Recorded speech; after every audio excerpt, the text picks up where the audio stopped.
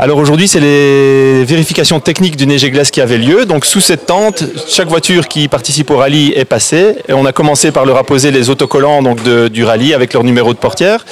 On a également vérifié la conformité des véhicules. Donc il faut que les véhicules, évidemment, vu que nous sommes sur route ouverte, soient conformes au code de la route. Donc ça, ça a été vérifié par des commissaires techniques.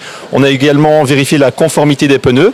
Donc euh, vu que c'est un rallye qui se passe sur euh, théoriquement de la neige et de la glace, ben, on vérifie les, les, pneus cloutés et autres. Et on a également installé dans chaque voiture un petit boîtier euh, GPS qui nous permet en temps réel de savoir où se trouve la voiture, de prendre également les chronos et qui nous permet également, pour la sécurité routière, de savoir s'il n'y a pas d'excès de vitesse, s'il n'y a pas d'abus de la part des concurrents. On sait en temps réel où ils se trouvent et ce qu'ils font.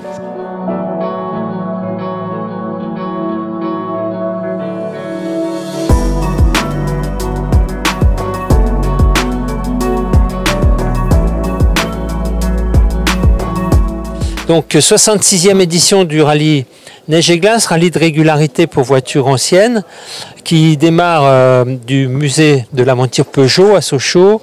Magnifique endroit pour nous recevoir, où 70 concurrents ont terminé à présent les vérifications administratives et sportives.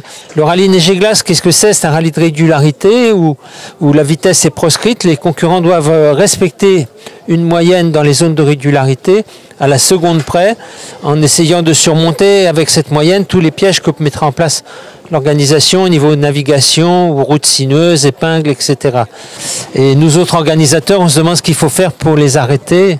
Yves de Flandre, il faudrait lui attacher un bras, lui crever un œil pour qu'il arrête de gagner. On ne sait pas. Voilà. Mais il y a des petits nouveaux qui viennent et qui montent dans la hiérarchie petit à petit.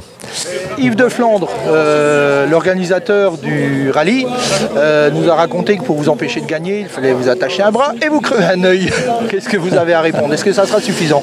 Ouais, mais écoutez, euh, pour gagner un rallye, il faut avant toute chose passer le drapeau à damier.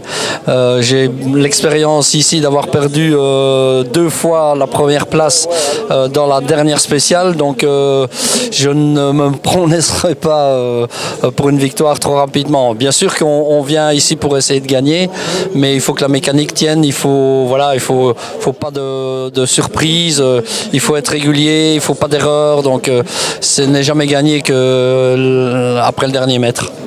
L'absence de neige, ça vous chagrine un petit peu ou? Un peu beaucoup.